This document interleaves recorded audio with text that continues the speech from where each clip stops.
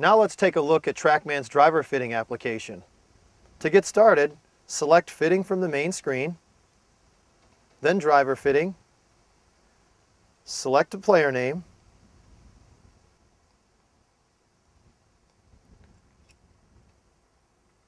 select the target line. I want to use this blue flag at the back of the range.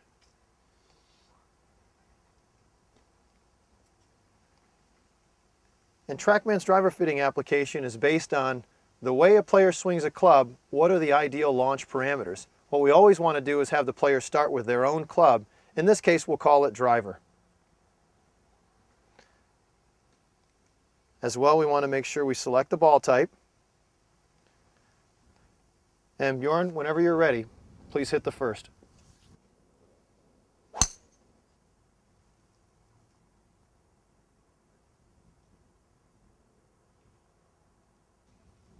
Okay, two more just like that.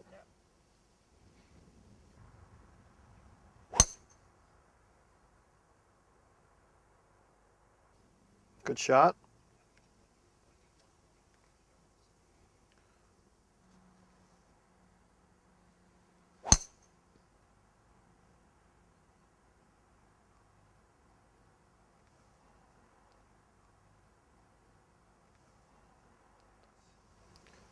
Okay, now that we've got three shots with that club, what I'd like you to do is try the other club.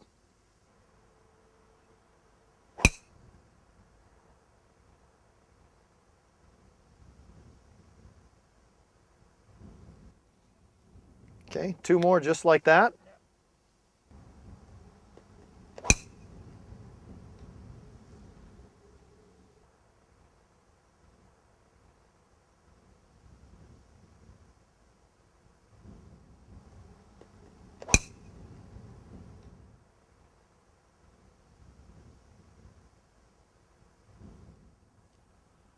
Nice shot. Come over and take a look at the data.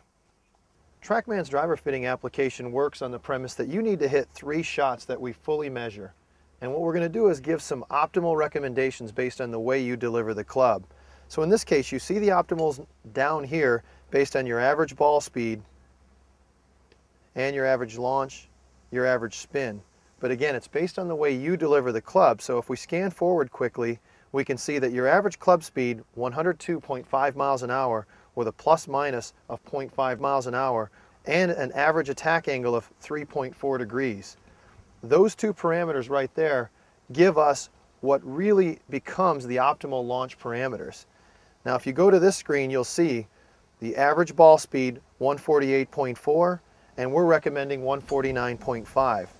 Now you can see your average carry distance was 236.1 yards and if you could optimize those launch parameters, you should be able to carry it 245.4.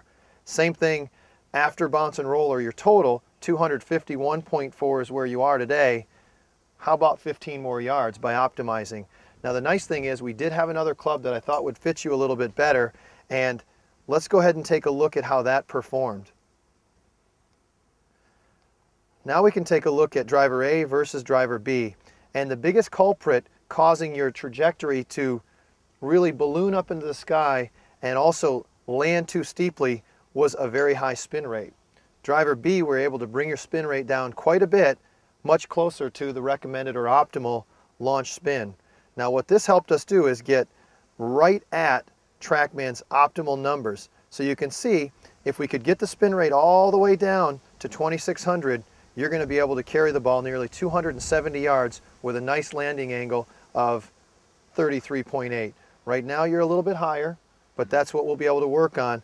Now let me go ahead and show you some graphical representations of this data.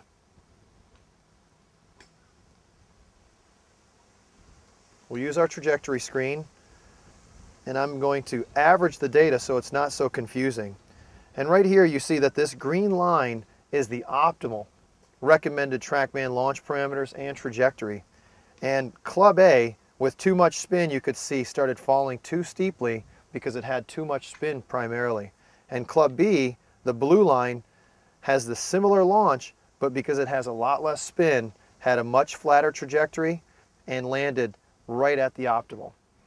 Now, I think that Club B is the recommended club for you, and we could really go a little bit further to optimize.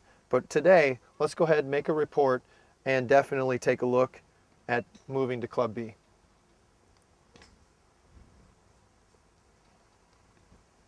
Now what's great about the TrackMan report is that I can pull all these separate elements in and then give the customer a deliverable, either email or a printed hard copy. And right up in here, based on the way you delivered your own club, this gave us the minimum to maximum ball speed range, spin rate range, and launch angle, as well as what all the optimals should have been. Again, driver B compared very favorable to your optimals, and you can see that clearly in the trajectory screen and also on the dispersion screen. And that's it for our overview of TrackMan's driver fitting application.